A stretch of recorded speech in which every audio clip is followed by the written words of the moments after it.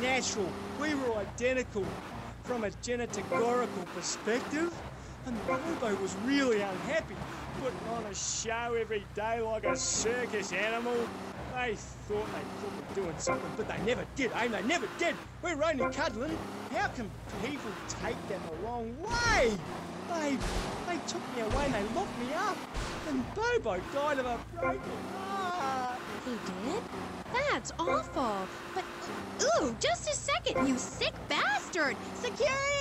I loved him more than you can imagine. Call the police! Someone, please help me! This guy is molting animals! Oh, it's gross! Aim, I only wanted to be loved, properly, mind, and he's gone. Hey, it's Dr. Phillips. Get lost, Doc.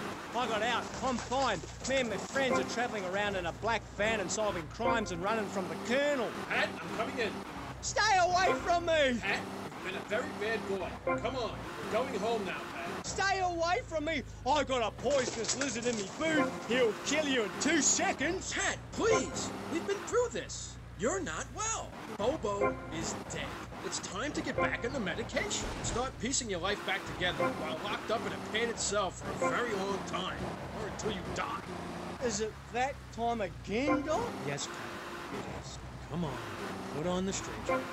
Look, it's even got your initials on it. And swallow this. Thanks, Doc. Did I tell you I love animals and they love me? I got a message. Look for a while at the China. I'm really sorry.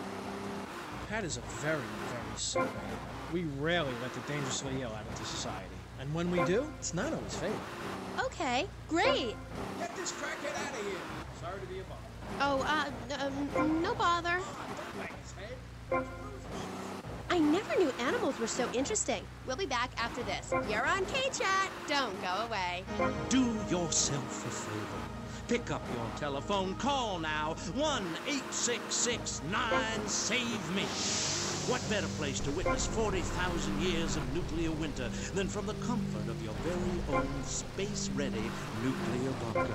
When we raise 25 million, we will build a 50 story tall likeness of me.